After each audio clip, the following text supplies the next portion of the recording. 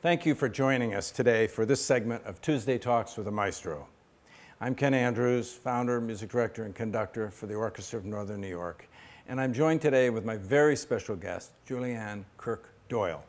Julianne is a principal clarinet with the Orchestra of Northern New York, professor of clarinet at the Crane School of Music. She's a member of the Aria Reed Trio and principal clarinet for the Northern Symphonic Winds. And I would urge you to go to our website, onny.org, and look at her full bio. You'll see that she's just done some amazing things. And so I'm thank you so much for joining me today. Thanks for thank having you. me. Yeah. Uh, before we talk about the orchestra a little bit, I, I wanted to ask you a little bit about your background. Um, was clarinet the first instrument that you started? Yes, technically. Um, when I was really little, I'd watch my dad play the saxophone in his big band, and I really wanted to play like dad. So he let me borrow his soprano saxophone. It was one of those little curved ones. And there's some pictures, I think, of me sitting and playing his curved soprano, uh, but I was probably in third grade and just kind of figuring it out. Probably sounded terrible. Um, when I was in sixth grade, then I began um, playing both viola and clarinet at the same time. Um, viola and clarinet? Viola and clarinet. I took the viola up. I was really serious about dance when I was young. And I didn't want to be in gym class and get injured, so I couldn't go to dance class. So I took up the viola to get out of gym class because that's, that's, great. We had a viola, and so that was the instrument we chose.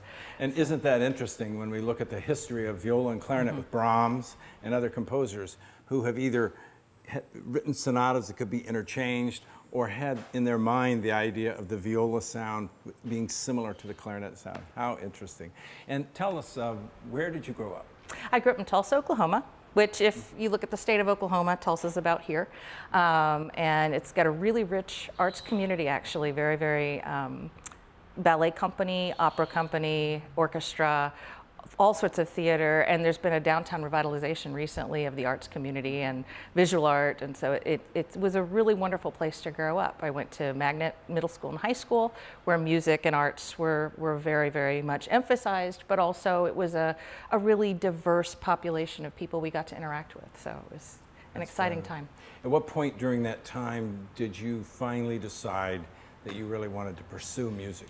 Well, I was, I was a sophomore in high school, and um, I was in the All-State Orchestra on viola, and I hear we were playing Dvorak Convert Overture, and there's this beautiful clarinet line, and I, in the rehearsal, just nearly froze, turned and looked at the clarinetist, and I thought, that's what I want to do. I want to play the clarinet.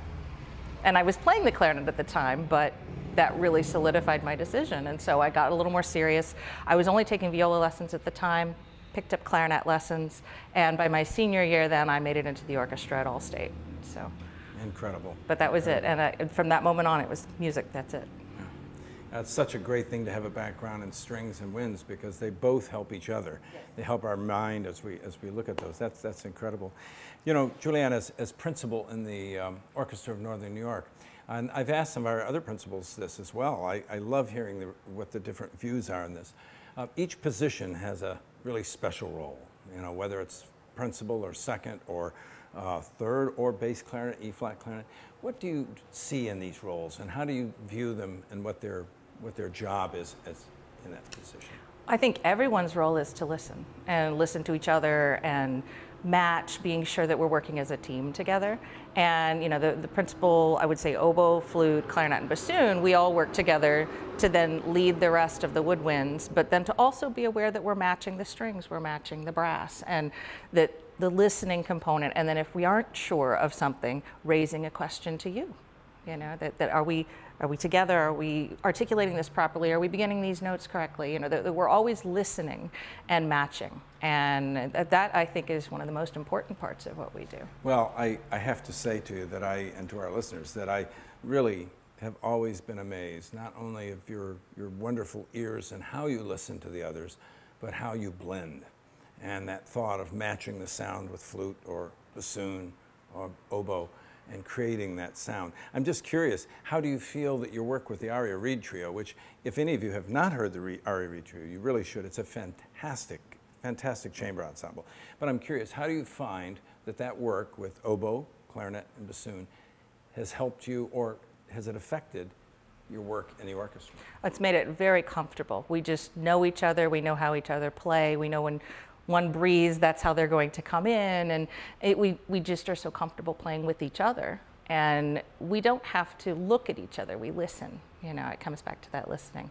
Um, but it's just the familiarity with each other and trusting each other as players. It's, you know, I'm curious. I think some of our listeners might find it interesting when they see musicians in a particular section switch off with other instruments, where you might switch off with bass clarinet or with E flat clarinet um, or with A clarinet on the stand. And I'm just curious, do you find it difficult to switch back and forth between these instruments?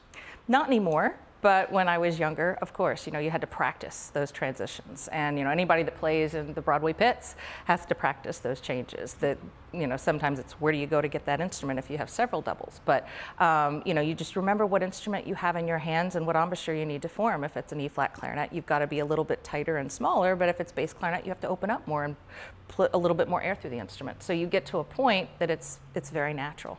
And you just know how to make those changes happen. Hmm. I, I know at Crane you teach, uh, you've had quite a few students who've been bass clarinet students, as well as, uh, e, as well as B-flat clarinet students, uh, or A. But I'm just curious, do you find in teaching those two, I think people might be curious, do, do, you find it's difficult to teach between these two? Are there differences with it, or do you see them similarly? I see them very similarly. We ask our bass clarinet players to play at the same level as our B-flat players, and they have to pass the same barriers. They have to achieve the same standards. And it's maybe a little more difficult. It's a bigger instrument. And in high school, maybe they aren't challenged as much in ensemble playing or solo playing as they are when they get to college. But they very quickly catch up if they haven't been. Well, I have to say, I, I uh, have always been amazed that all of your students have such a wonderful sound, and there, there's a certain homogeneity of sound throughout the studio. Not that each person is an individual, but they always have a wonderful sound. And the bass clarinetists that I've heard so many times that you've taught are, are just wonderful players, and, and they get such great training. Um, I'm just curious, with the years that you've spent in the uh, Orchestra of Northern New York, um, are there any particular memories or concerts that, that uh, strike you? Well, I, I, would say recently the Harry Potter concert was so much fun. You know, seeing all of the the students and, and, and community members dressed up. You know, they were so excited about that program. Being a long fan of the films, I really enjoyed playing the music. Um, looking back a little further, I really loved the Dances of Galanta and Beethoven 4 concert we did.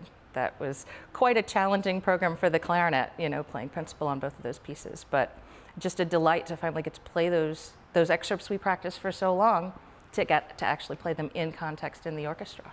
Do you find orchestrally, and uh, I always try to avoid this question for musicians, but I'm curious, in an orchestral sense, do you find there are certain composers that you particularly gravitate to that you love playing? Sure. Um, one of my favorites, and I haven't had the opportunity to play it much in the orchestra, is Prokofiev. Mm-hmm. Um, I look back to my dance days. I was fortunate enough to dance in both Romeo and Juliet and Cinderella as uh, an apprentice with the company at home.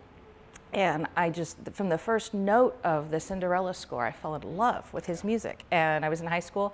I went to the public library, and at that time, you know, checked out every CD of Prokofiev I could find, and spent the next several weeks listening to every piece he had. And I'm I, just a huge fan. It's, it's, a, it's, he's one of my favorite composers. His writing is so, so amazingly difficult for the strings. I mean, even um, orchestras that are full-time, 52-week orchestras, struggle with these, these scores in, in terms of the strings.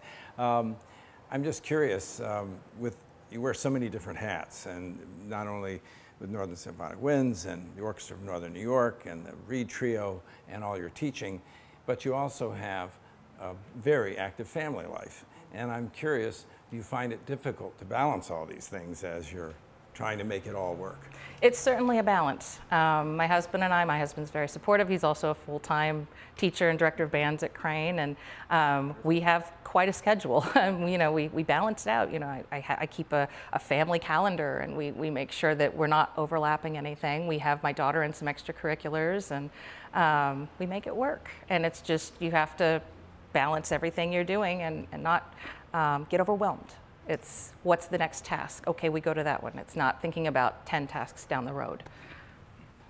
I, I want to say to our listeners that um, uh, in a future time, we're going to have um, several members who have been of the orchestra or past members of the orchestra who have been directors of Crane Youth Music.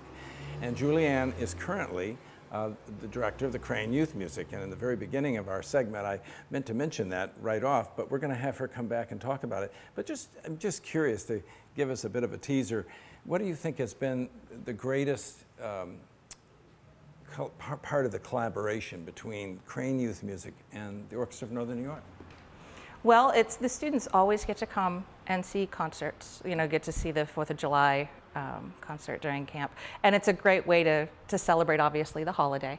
Um, but they have the opportunity to work with the musicians in the orchestra, and then they come to the concert and they see those musicians performing as part of the orchestra, and I think that's really exciting. And and they realize, oh, I could I could do that. I That's could great. play in that orchestra or, an orchestra someday Or one of those pieces? or one of those pieces. And sometimes they have the opportunity to play a piece that ONNY is playing, and that's been exciting too. Well, I'm certainly looking forward to the, another segment when we have several of you who Mm-hmm. either are the, are the current director of uh, Crane Youth Music or past directors of Crane Youth Music. And uh, this has been such an amazing uh, camp for students, not only in our region, but beyond our region uh, as well. But we'll do that another time when we have a little bit more time. And I want to thank you so much for joining us today. And I want to thank our listeners for joining us today. And watch ahead next week as we put another segment of Tuesday Talks with a Maestro on our website, onny.org. Thank you, stay safe and healthy.